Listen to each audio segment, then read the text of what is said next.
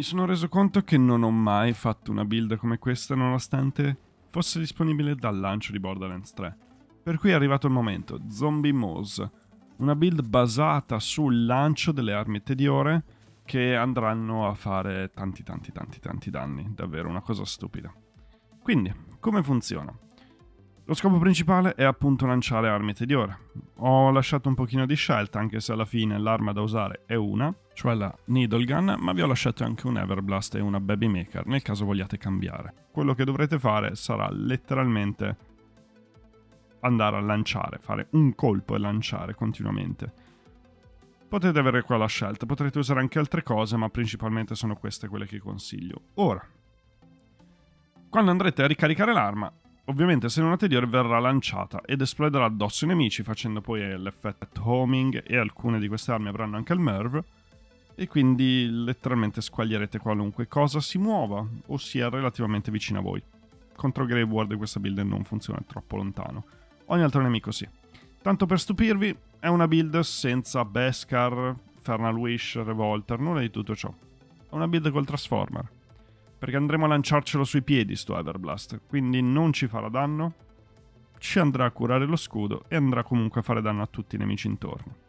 Altri oggetti in questa build? Beh, un Cut Force Launchpad qua nel, nell'inventario. Quando finite le munizioni lo mettete, fate una schiacciata per terra, vi ridà tutti i colpi dello shotgun e lo rimettete nell'inventario.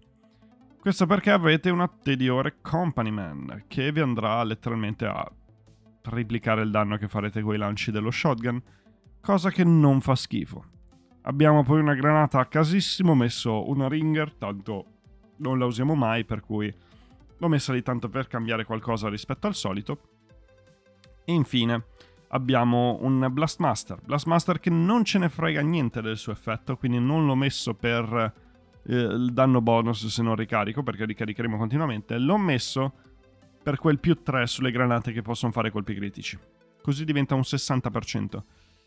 Storinger già fa praticamente 900.000 danni quando rotola contro un nemico. Andiamo ad aggiungere il 60% di possibilità che faccia colpo critico e potrete ben immaginare che 2 milioni di danno base, senza contare tutti i bonus, è una cosa stupida. In più tutto quello che abbiamo ha un capienza caricatore e un danno granate, perché per chi non lo sa, il lancio degli, eh, delle armi tediore vale come danno da granata anche, quindi potrete potenziarlo con quello, come Borderlands 2.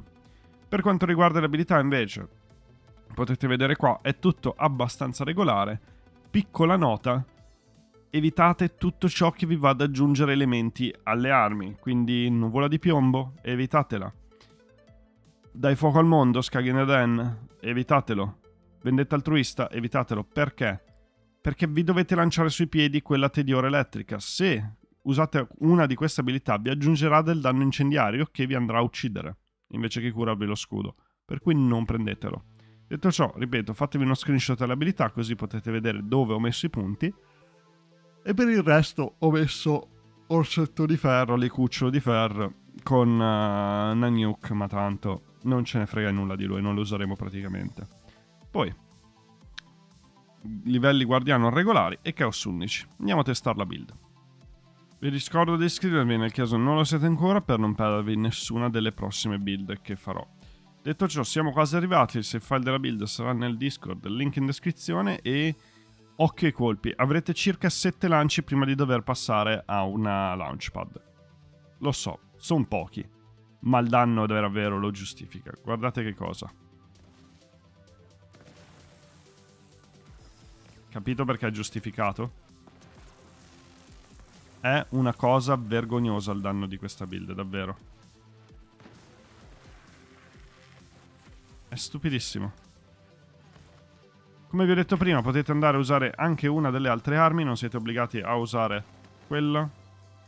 E vedete che potete usare letteralmente la needle gun senza problemi.